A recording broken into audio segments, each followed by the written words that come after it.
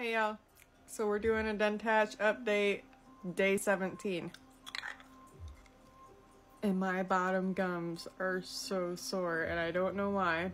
It could be because I just started a new medication a couple weeks ago or because of Denttach and I haven't reapplied it in 17 days. But my my bottom gums look. Oh, they're red. And they hurt. Why? There's no open sores or anything like that. Like I don't have any denture sores. It just hurt and it's really sore. I don't it goes away after I take my teeth out for a while. At like down here. Super duper sore. Oh, it's so sore. And same thing with the top, like the top kind of sore. And I don't know why. Like, that's a scar uh, from when I had surgery, from when I had an infected tooth years and years ago and I was in the hospital for two weeks straight.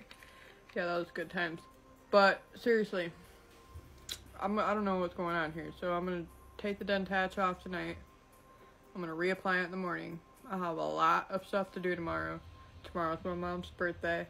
Um, so yeah, we are going to see if that helps. If I reapply it, maybe it will give me a little more cushion for my gums. But why are they so sore?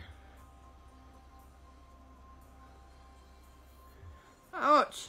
I haven't had this problem in long, long time, so it's making me a little sad. I don't really know what to do here, but I'm keeping you guys updated like real time, real shit, and we're gonna see if reapplying tomorrow helps. I really hope I don't have to put cushion grip back on. I mean, if I do, I do, but I don't understand why my gums hurt so bad. It's pretty bad. Like, it's bad enough to where I just want to take my teeth out and not eat anything. And I haven't had that problem in a long time. Months seven, eight months since I got my dentures, had the adjustments, and started using cushion grip, I've not had this problem in my mouth.